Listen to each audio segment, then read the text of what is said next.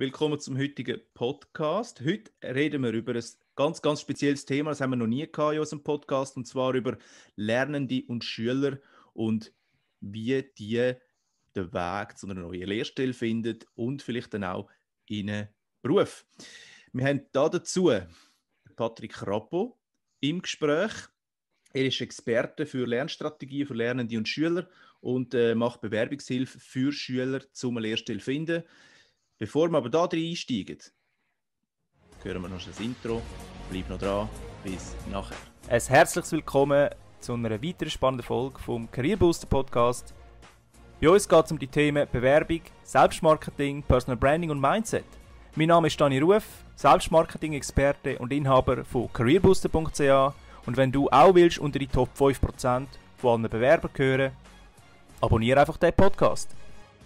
Willkommen zurück zu dieser Folge Podcast und zwar geht es bei uns heute um Lernstrategie für Lernende und Schüler und Bewerbungshilfe für Schüler, dass sie endlich eine Lehrstelle finden. Wir reden aber auch über das Thema so ein bisschen, äh, was habe ich da aufgeschrieben, Hemmschwelle der KMUs und so weiter und so weiter. Ich glaube, ich muss da gar nicht zu tief reingehen. Patrick, es freut mich sehr. Patrick Rappo, Experte für das Thema.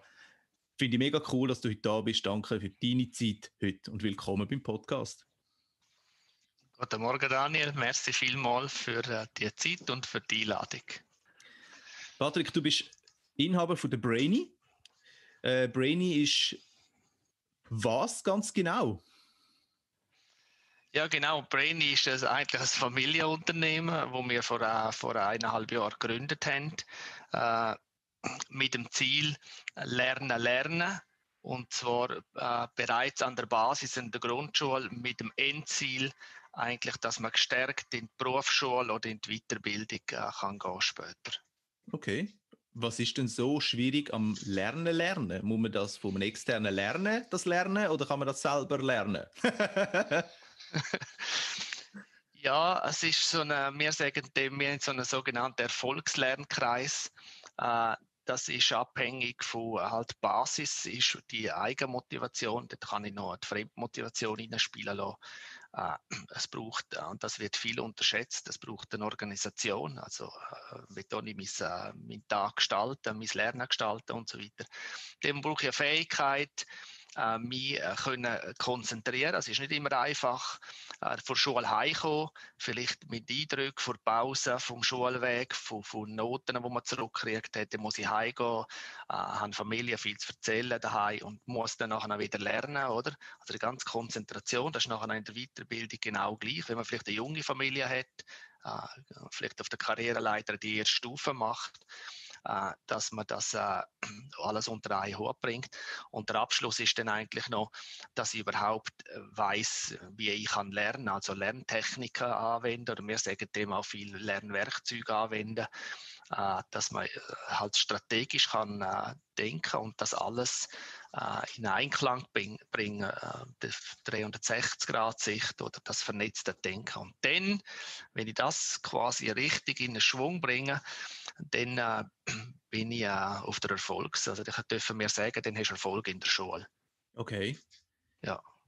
Wir steigen nachher nochmal auf das Thema rein. Ich möchte aber zuerst noch etwas anderes wissen, Patrick. Wie bist du auf die Idee gekommen, das zu machen? Hast du eigene Kinder, die diese Probleme haben und darum? Oder erzähl mal ein bisschen. Ja, mittlerweile äh, habe ich eigentlich Kinder, sogar vier. Wir haben äh, vier Buben im Alter von äh, 9 und 17 und das ist natürlich schon ein Tourthema, aber das ist jetzt nicht der äh, Hauptgrund. Äh, äh, da sitzen wir auch genau gleichen Boden. Es ist nicht so, dass unsere Kinder alle die Überflüger sind in der Schule. Wir haben genau die gleichen Themen daheim, weil daheim bin ich Papi und nicht so quasi der Lerncoach, sie würden es gerne nicht annehmen. Das heißt, die müssen auch oder sie dürfen auch zu uns ins Lerncenter kommen und äh, mit unseren Tutoren äh, lernen. Nein, darauf kommen ist eigentlich so eine, ist eigentlich ein Prozess Ich bin immer im Lehrlingswesen tätig gewesen äh, oder mir hat das immer sehr interessiert. Ich habe schon, als wo ich selber Lernende war, habe immer äh, eigentlich Freude gehabt, dass ich sogenannte Unterstifte haben dürfen mitnehmen und habe auch immer äh, ja, immer gefördert, dass sie dass sie gefordert und gefördert werden. Und das hat sie nachher durchgezogen. Äh, ich bin nachher auch äh, Regionalleiter da gewesen, äh, von der Tochtergesellschaft bis Swisscom und haben nachher geschaut, dass die, äh, dass man äh, von null Lernende haben wir bis zehn Lernende äh, quasi den Schluss gehabt mit drei verschiedenen Berufsbildern. Und die haben immer mit den Lernenden eigentlich am Feierabend gelernt und geschaut, dass sie gestärkt in Kurs und in Prüfungen gehen und haben teilweise haben gemerkt, dass mir das sehr gut gelingt. Ich teilweise hoffnungslose Fälle äh, wirklich zu sehr guten Noten gebracht und, äh, und, äh, und das Schöne ist, das Schönste ist zum Beispiel dass der Diplom für ihre Mutter zu mir ist und die hat sich brüllend bei mir bedankt. Ja, okay. das äh, ist ein eindrückliches Erlebnis gewesen. Und dann hat mich das einfach so, hat mich das so äh, begleitet. Und dann bin ich irgendwann, wie es halt viel noch geht, am Schnittpunkt gewesen. Äh, und, und haben dann äh, auch durch Zufall habe ich gefunden, nein, das, jetzt wage ich das am Anfang im Nebenamt und, äh, und nachher, seit eigentlich äh, kurz äh, vor dem Lockdown, haben wir entschieden, das Ganze auf das Pferd zu setzen. Okay. Äh, und wo wir es entschieden haben, haben wir den Schlüssel gedreht und das Lerncenter wieder geöffnet. Und dann ist der Lockdown gekommen, das ist März ja. 2019 in dem Fall ungefähr. Äh, jetzt 2020. Äh, ja, Entschuldigung. Ja, ja. Natürlich, ja, nicht März 2020. Natürlich, ich weiß nicht, wieso bin ich noch ein Jahr. Naja, egal. Anderes Thema. Du hast äh, angesprochen gehabt, im Vorgespräch auch, dass die heutigen Schüler auch bei dir noch Bewerbungshilfe bekommen. Wie das? Wie, wie, wie hängt das zusammen mit dem Lernen lernen und dann Bewerbungshilfe in der Lehrstelle? Ja, wenn sie zu uns kommen, dann als, als Schüler in der Oberstufe ist das dann äh, zumal ab der zweiten ist das ein Dauerbrenner, oder? Mhm. Äh, dass man sagt, ja du, es geht dann halt viel um Zeugnis und eigentlich ist immer der Treiber, ja, ich muss, ich komme zu euch, weil ich ein gutes Zeugnis habe, weil das gute Zeugnis hilft mir nachher eine, äh, eine gute Lehrstelle finden.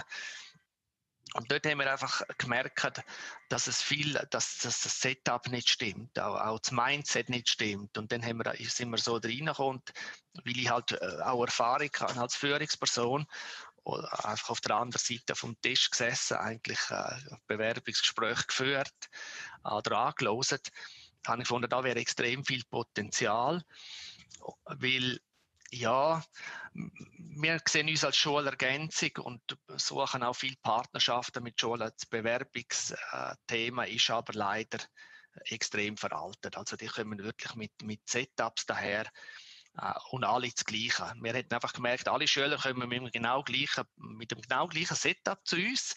Einfach vielleicht manchmal mit einer anderen Farbgebung, meistens aber mit einem anderen Grauton.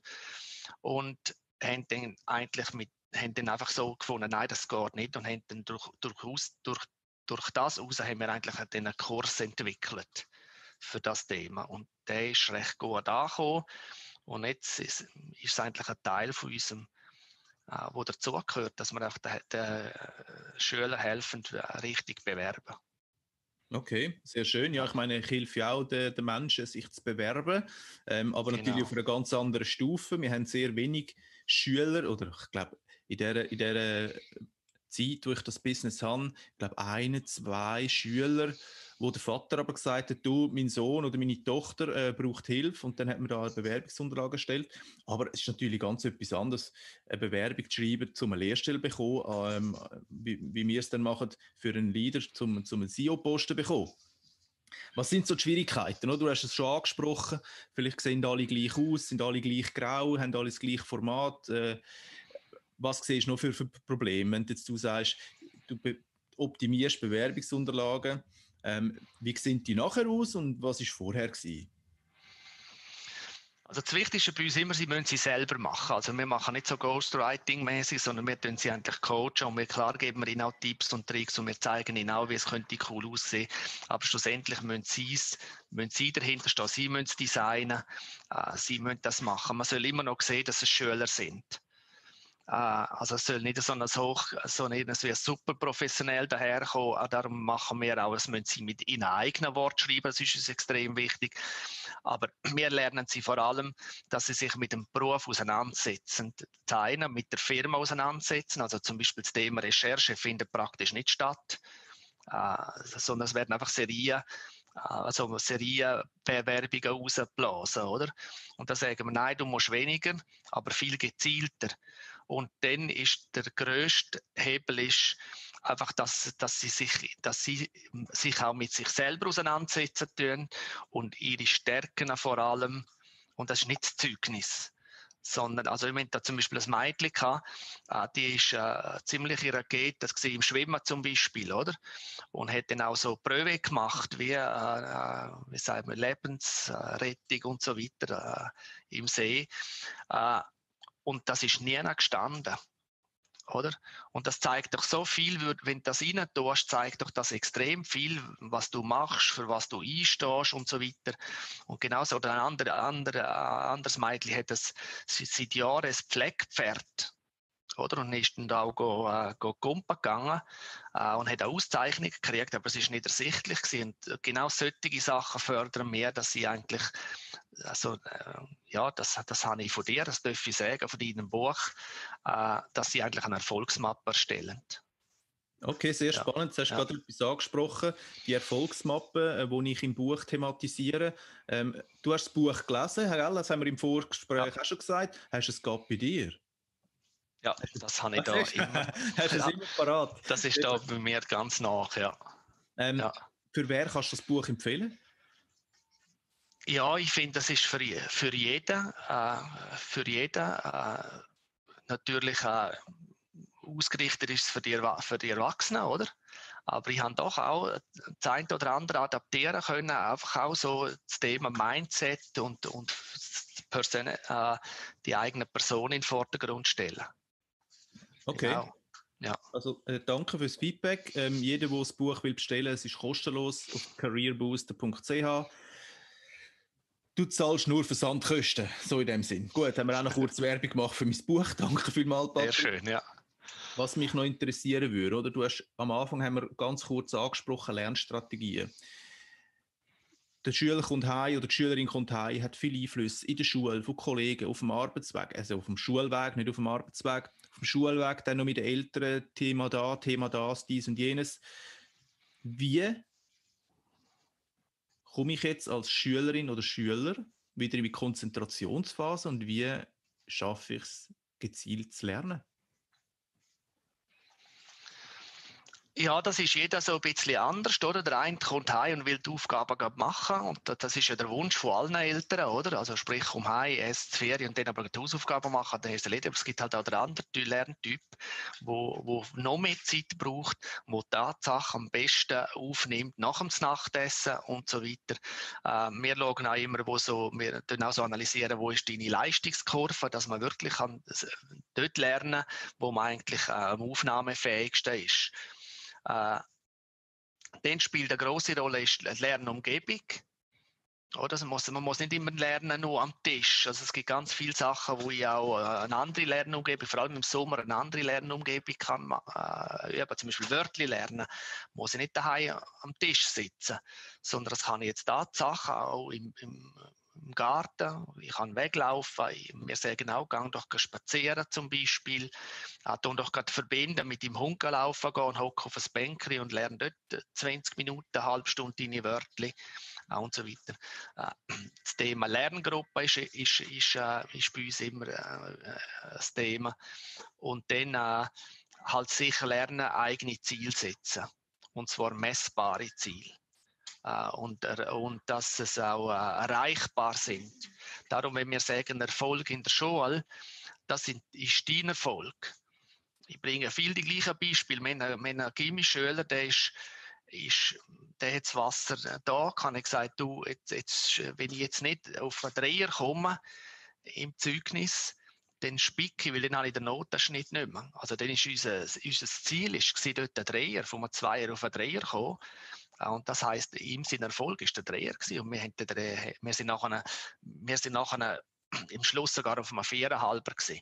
Aber das Zwischenziel ist ein Dreher gewesen und wir haben das auch gefühlt. Das heißt, das ist ein Erfolg gewesen. Also nicht an der Note gemessen, sondern äh, es kann nicht jeder überall ein Genie sein. Und, und dem muss man es auch akzeptieren und vor allem die Kinder müssen auch akzeptieren, weil es hat nachher eine Auswirkung äh, auf die Berufswahl. Und zwar auf die begeisternde Berufswahl. Man muss nicht dem Informatiker nachhecheln, wenn ich in Mathe nicht, nicht sehr gut bin. Aber wenn ich ein kreativer Typ bin oder so, einfach die Sprache mir extrem gut liegen, dann habe ich ganz, ganz viele andere super Optionen. Okay. Wo vielleicht Mathematik nicht so wichtig ist. Ja, richtig. Ist denn aber nicht uns, unser äh, Schulsystem kontraproduktiv? Ja, eigentlich bin ich Fan vom Schulsystem, rein aus dem Grund, weil wir auf extrem hohes Niveau haben weltweit. Äh, wir sind in der, natürlich in der, in, soll ich sagen, in der Champions League daheim und das ist dann ja immer auf hohem Niveau. Darum unterstützen wir das eigentlich auch im Grundsatz, dass wir einfach dankbar sind, so eine Bildung zu, geniessen. Aber ja, wir, wir finden es auch nicht, äh, wir, wir sehen halt auch, dass es halt immer wenn wir sagen, ja, was findest du denn gut? Oder? Das kannst du dir immer raten, welche Note das denn genannt wird. Oder? Das ist halt immer der Fünfer. Oder? Mhm. Oder, oder umgekehrt sagen wir auch Lernende, ja weißt, ja, weißt da bin ich genügend, weißt du, vier erlangt. Und das ist einfach so, die, die Abstufung ist immer auf, das, auf die Schulnoten abgestimmt. Und dort ist wirklich Tatsache, wenig Kreativität drin und auch wenig Innovationen. Aber als wo muss man halt äh, Leitplanken setzen, weil mittlerweile ist es halt auch für einen Lehrer recht schwer. Er hat von äh, Kindern mit Migrationshintergrund, also noch in der Oberstufe gibt es teilweise Schüler, die nicht Deutsch kommen, also die zu uns kommen und nicht Deutsch kommen ist in der gleichen Klasse, obwohl wir Niveaustufen haben, wie der quasi der Super, der Superbrain, oder, wo, in, wo direkt ins Gimmi kann, oder? Und der Spagat ist nicht einfach. Darum sehen wir ja uns, würden wir uns viel mehr sehen als Partner von der Schule.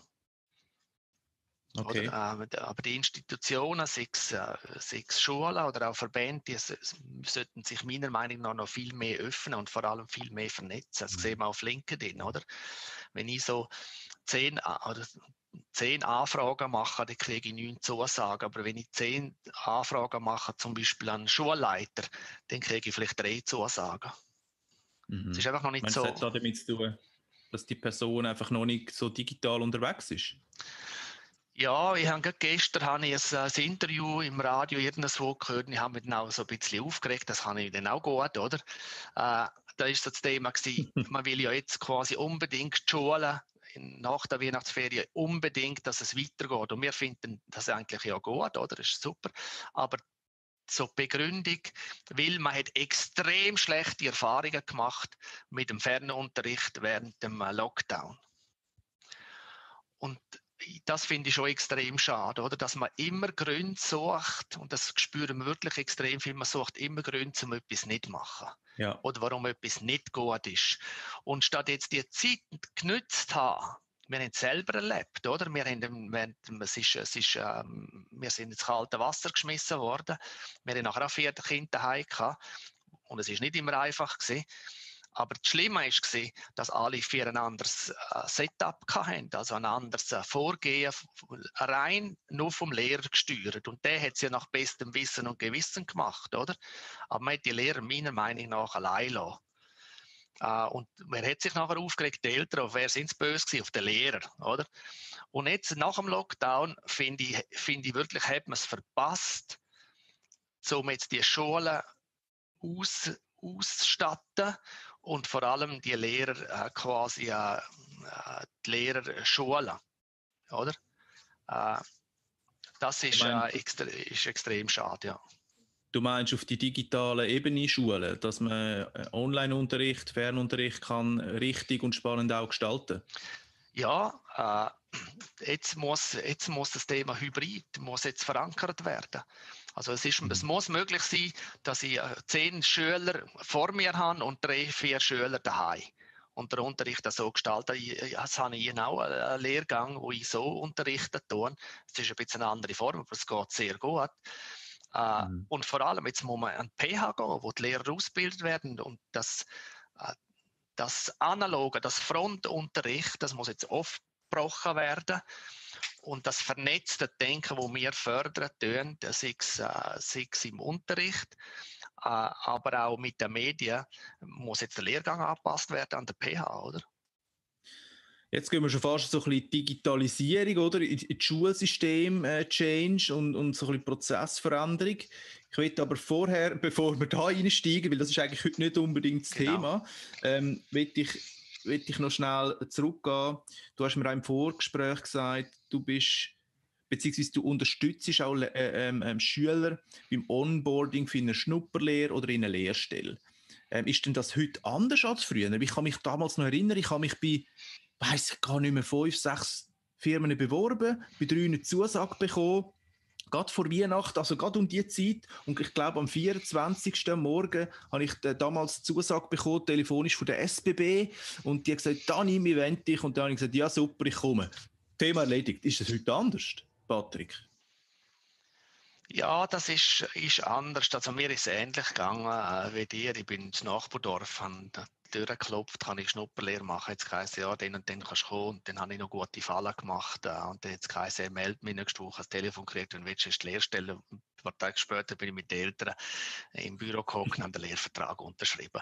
Dann habe ich, erst, fertig, oder? Genau, habe ich am ersten Tag angefangen, hast gemerkt, das, das will dich nicht immer, oder? Ich habe ganz klein, wirklich ein kleinstes Unternehmen die Lehre gemacht, bist mit einem mittrottet, aber nachher habe ich ich glaube, im, im, vierten Lehrjahr bin ich einmal zum Lehr, sogenannten Lehrmeister hineingesessen, wo es darum ging, ist, oh, jetzt wir mal ein bisschen die Tests für, für äh, abfrögeln. Oder so. Und das bist das Einzige. Ich hätte Jahresendgespräche gehabt, äh, Semestergespräche äh, und so weiter. Das hätte es natürlich alles nicht gegeben. Das hat sich extrem geändert, aber es ist natürlich, äh, das haben auch die Mitarbeiter nicht gehabt. Also war nicht das Thema, gewesen, das mache ich mit dem Lernenden nicht. Das sind auch die Mitarbeiter nicht gehabt. Und heute hat sich das natürlich extrem verändert, dass teilweise auch ähm, wo man natürlich als, als äh, Ausbildungsbetrieb auch viel mehr Administration machen, also im Verband melden, Anmeldung und so weiter. Äh, das hat sich schon extrem verändert, aber auch natürlich äh, äh das äh, Mindset von der, von der heutigen Generation ist anders, oder? Das sind, also da bin ja ich wirklich steinzeitmäßig unterwegs und ich bin 20 Jahre in der Telekombranche und habe nicht das Gefühl, ich bin so verstaubt, ich bin mit den Sachen sehr, sehr, äh, mit dem ständigen Prozess, äh, Wandel und so weiter und Veränderungen, äh, hat mir immer extrem gut gefallen und die heutige Jugend geht ganz anders in das Thema her, oder? Die suchen nicht, die suchen nicht Firmen sondern die suchen die suchen eigentlich eine Tätigkeit, die zu ihnen, wo zu ihnen passt. Oder? Zum Beispiel gesehen, ich habe ein Beispiel von unserem Ältesten, wo jetzt der erste, der jetzt in der Lehre ist in der Familie, oder? Nach mir und meiner Frau. Äh, der hat seine Lehrstelle ausgewählt. Er ist jetzt ein Kälteplaner. Äh, er hat noch die Aufnahmeprüfung gemacht für die Mittelschule, hat sich aber entschieden für, äh, für, äh, für eine Lehre rein aus dem Grund halt eigenes Geld verdienen und so weiter. Und er ist kein Sommerkind, sondern ein Winterkind. Er hat gesagt, ich will nicht Sommerferien, ich will Winterferien haben. Und dann hat ihm die Firma gesagt, ja du, wir haben Sommerbetrieb, wir sind super froh, äh, gehst nur weniger Ferien, du kannst äh, im Winter kannst du gehen. Und vor allem hat er es extrem cool gefunden, dass er zum Beispiel, weil er, weiß nicht, wie viele Skitage er verbringt, er hat es extrem cool gefunden, dass er zum Beispiel am Montag kann sagen, hey, am Freitag, am Wochenende schön Wetter, kann ich am Freitag frei haben. Das hätte ich mir nie getraut, so etwas zu fragen. Never. Also nie. Du, du redest so ein bisschen von der Work-Life-Balance, oder? Ja, genau, das ist es, oder? Äh, und, und sie suchen nach dem, dass es passt und vor allem, sie wollen im Arbeitsprozess involviert sein. Es gibt sich heute kein Schüler zufrieden, dass er einfach nur da ist und die dritte und vierte Hand spielt. Die sind weg, die Fakten, fackeln es nicht mehr so lange wie mir. Ich, ich habe nach, nach vier Wochen bin ich sicher gewesen, dass, dass, äh, dass, dass es äh, in, den nächsten, in den nächsten zwei, drei Monaten äh, nicht mein Ding ist. Also ich bin sicher gewesen, dass ich eine Fehlentscheidung gemacht habe, ich bin nachher auch die Lehrabschlussprüfung auf dem Beruf. Weil bei uns ist es so auch noch, also im Dorf hat man über mich geredet. Also im Dorf wäre ich wirklich, ich hätte auch Scheid, hätte mir in einem Dorf, der hat Lehre abgebrochen, oder? Äh, und, ja, äh, und das ist heute natürlich viel, äh, eben, sie suchen eigentlich, die Jugend, die Schüler suchen eigentlich etwas, äh, wo zu ihnen passt und wo sie und das ist jetzt nicht ein Floskel auf Augenhöhe, können diskutieren, wenn mitreden. Mhm. Mhm. Ja, also was mir auffällt, oder? Ich habe ja auch ab und zu Kontakt zu, zu jungen Menschen. Was mir dort auffällt, sie sind gegenüber was wir früher waren, sind viel, viel erwachsener, viel reflektierter und sie schauen extrem darauf, was du sagst, was für ein Job passt zu meinem Lebensstil und nicht das, was ich früher gemacht habe. Oder ich, ich fange einfach mal an, dass ich einen Job habe, so in dem Sinn, oder? oder wie siehst du das? Ja, es ist, äh, es ist, äh, es ist genau so. Also, äh, ich sehe es, ich sehe es genau gleich. Äh, äh, die sind viel, die, vor allem sie sind viel weiter als wir. Oder nur schon, mhm. das sind 30 Jahre Unterschied, aber es ist wirklich äh, das, rein äh, vom, vom, wenn man sie wirklich fördert, die sind extrem schnell. Mhm. Die sind extrem schnell, oder? Im Denken, im Mitdenken, im Analysieren und so weiter. Und sie hemmen sich nicht, ihre Meinung zu sagen. Sie wollen ihre Meinung sagen, oder? Das ist, oh, bei, uns, ja. das ist bei uns also für mich ist klar gewesen, im ersten Lehrjahr hast du nichts zu melden. Da bist du, ich bin, nicht, ich bin ein Jahr lang neben der, äh, neben der Leiter gestanden, habe Schrauben und Dübel und irgendwelche und ich bin auf und ab gelaufen. Ich bin so gesehen, also irgendein Einhirn Ecke vom Monteur, er hätte nichts müssen studieren, weil er ja mich da gehabt. Und wenn die haben müssen hundertmal auf und ab laufen, äh, ich, ich, bin, ich bin da gewesen, oder? Das, äh, das ist heute, äh, sind sie viel, viel, viel schneller. Man heute, ich habe äh, die erste, ich habe äh, Bohrmaschine habe ich, das ist ein handwerklicher Beruf, habe ich gelernt, Elekt Elektroinstallateur und ich, Bohrmaschinen habe ich dürfen, so richtig bei denen, die in der ersten UK gemacht haben, oder? Wie man das dort gelernt hat, wie man sich ein Ding, heute hockt der, heute hockt der Lernende, also ein Schüler an der Tisch, der startet das CAD-Programm und findet, ja gut, wo kann ich ja loslegen und macht sich dann schon Gedanken, wie kann ich meine Tastatur selber belegen, dass es mir einfacher geht. Mhm.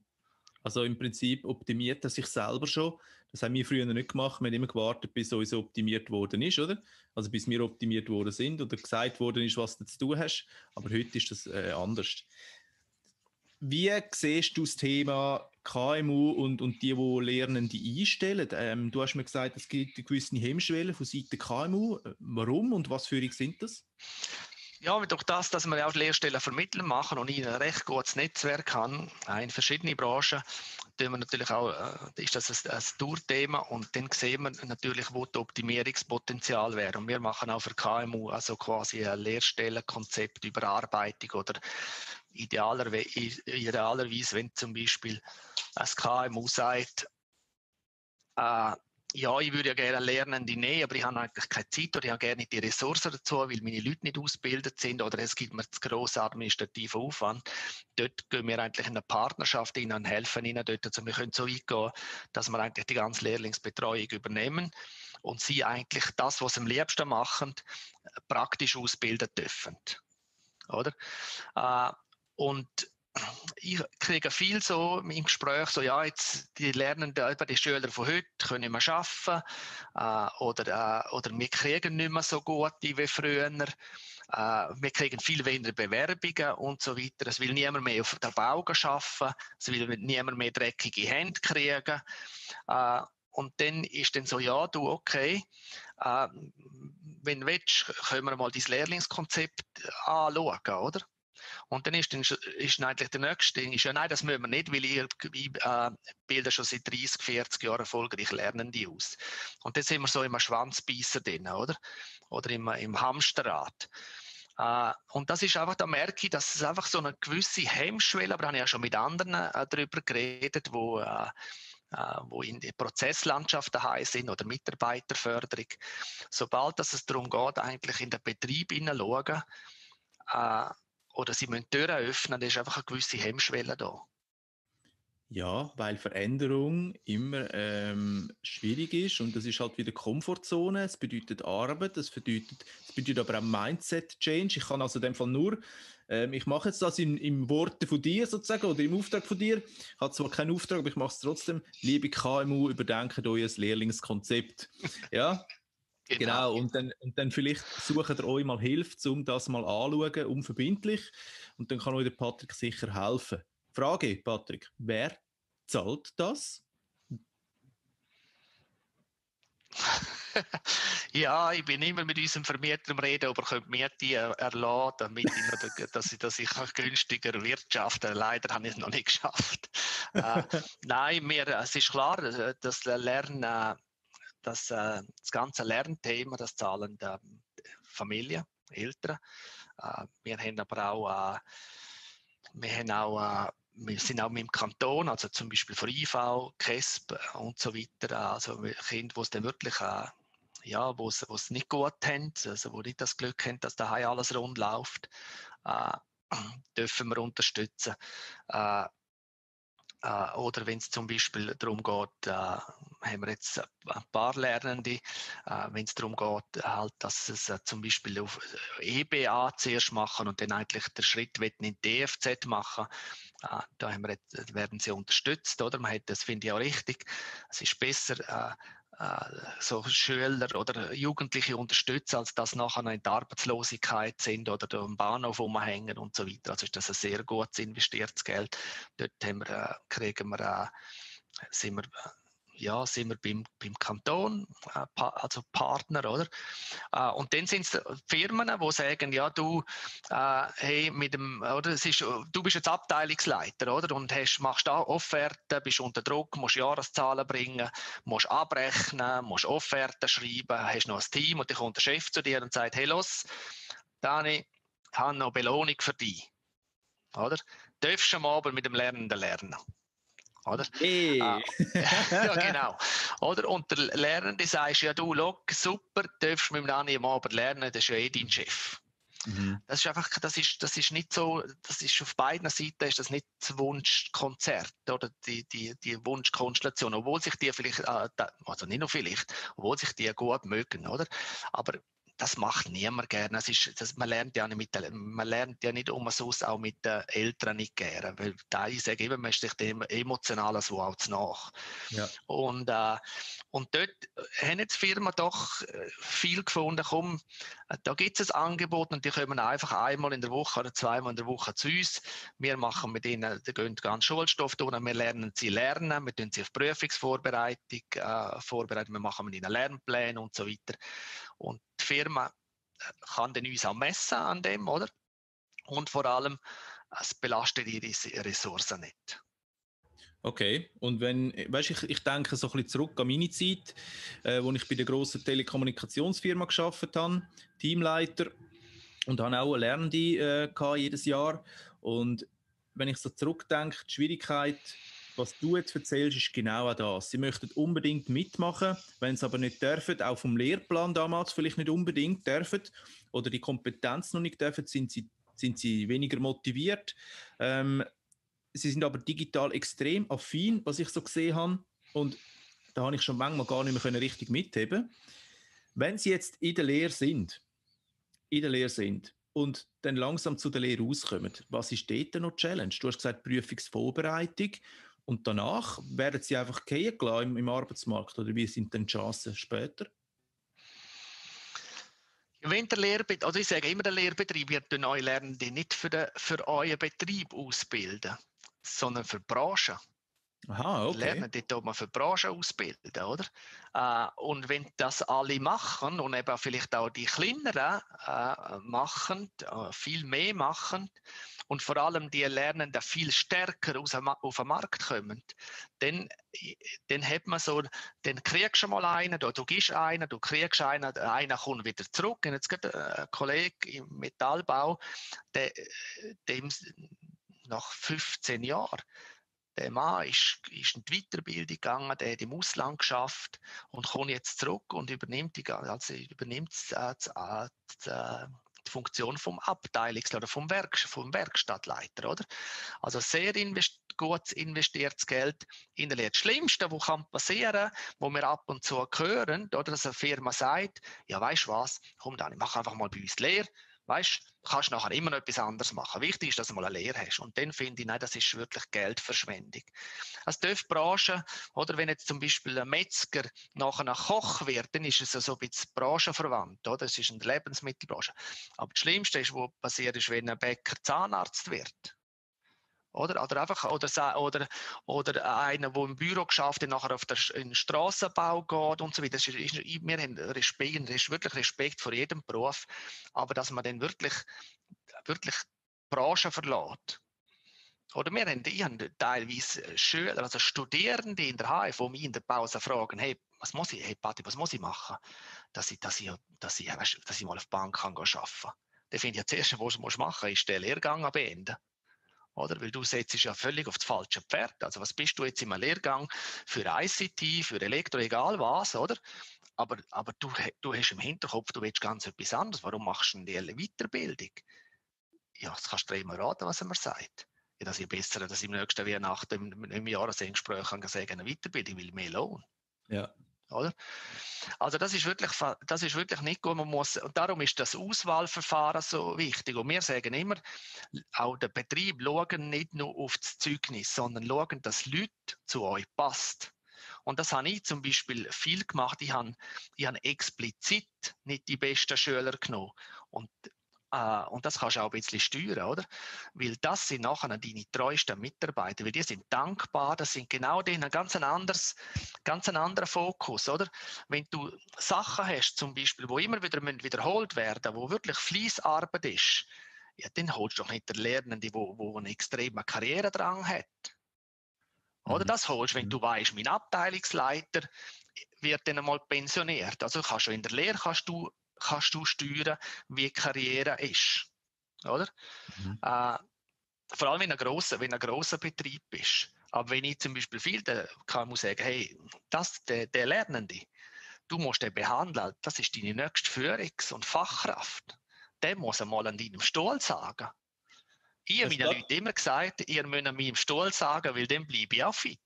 Ja, ja. Ja, ja, ja. Hat etwas. Das ist eine gute Metapher, ja. Das hast du aber gerade etwas angesprochen, oder? Ähm, Fachkräftethema, Fachkräftemangel ist ja so ein, ein Buzzword in der Gesellschaft.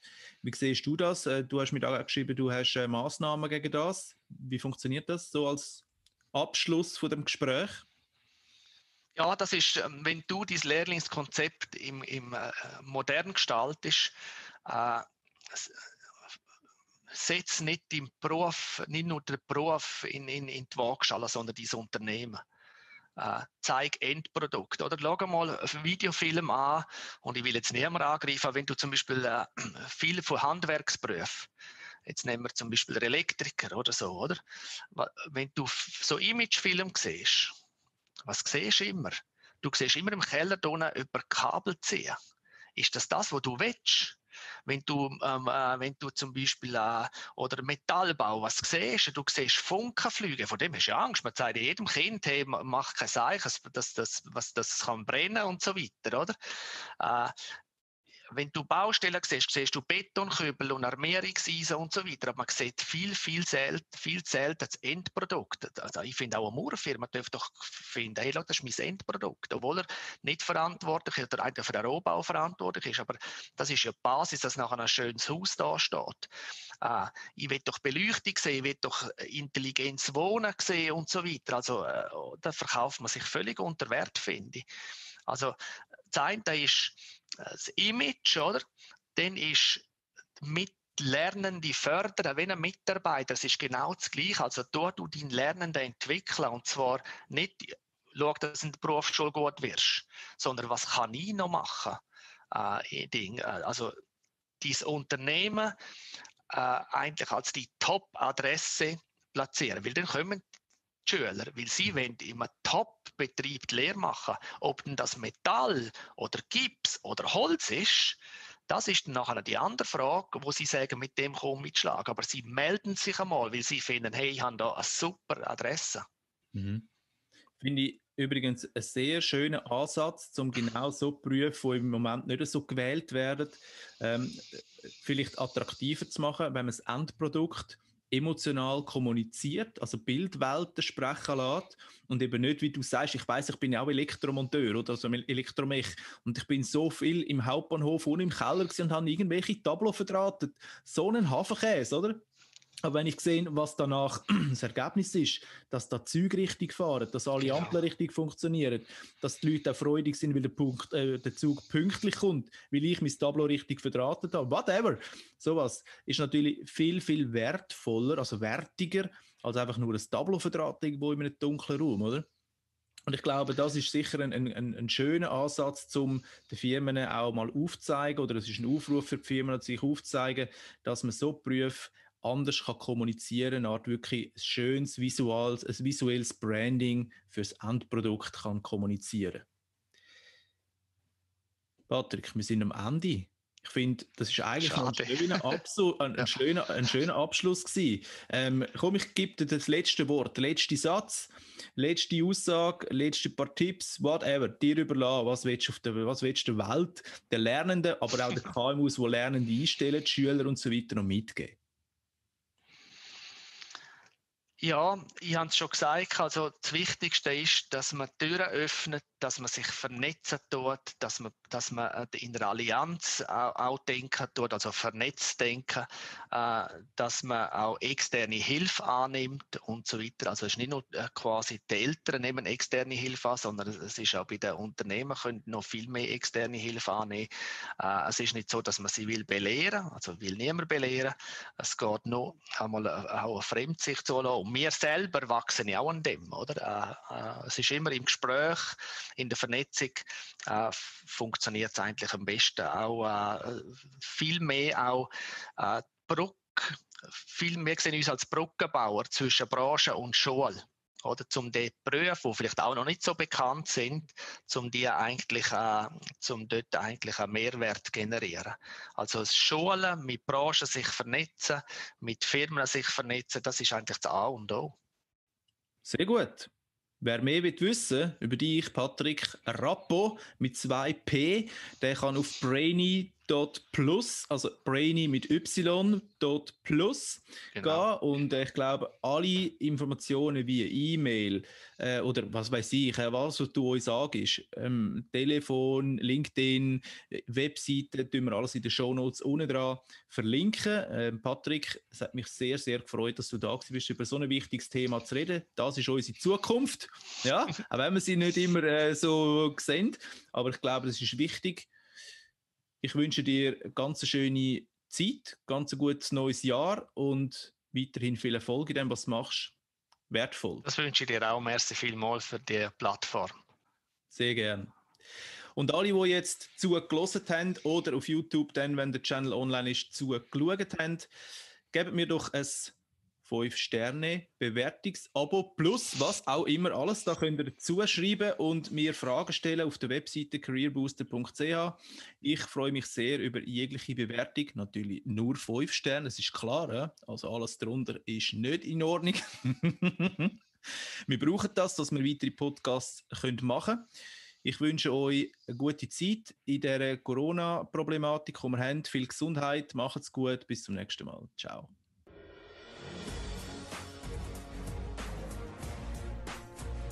Wenn dir der Podcast heute gefallen hat, dann freue ich mich auf ein Abo und eine 5-Sterne-Bewertung von dir, damit wir zukünftig noch mehr spannende Gäste für dich können interviewen können.